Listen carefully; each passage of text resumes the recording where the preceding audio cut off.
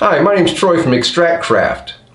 We just recently started shipping the new Rev 2 of the EtOH Pro, and I've been getting a lot of questions about what's new with the updates. So I thought I'd do a short video and let you know and show you what's new with the Rev 2.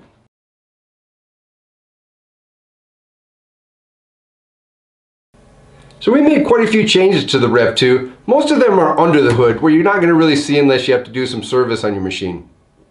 There are a few cosmetic and operational uh, things that we've improved, which I'd like to show you.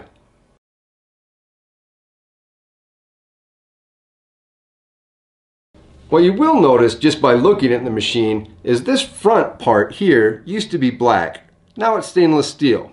That's because where the old EtOH Pro used to have a one-piece top sheet, now it's split into two, the bottom and the top. This makes serviceability much easier.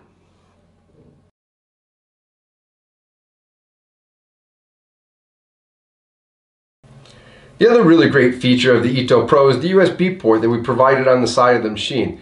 This is going to give us enhanced troubleshooting abilities as well as the ability to upload new software when necessary.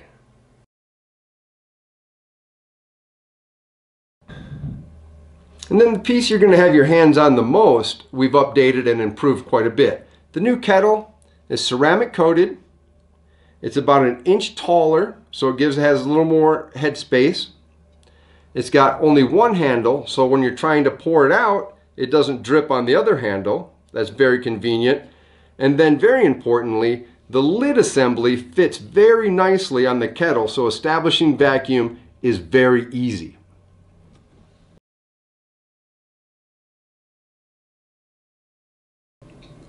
So if you're ready to make the best possible full spectrum oil and recover all of your alcohol for reuse with the newest technology, go to extractcraft.com and order your EtOH Pro Rev 2.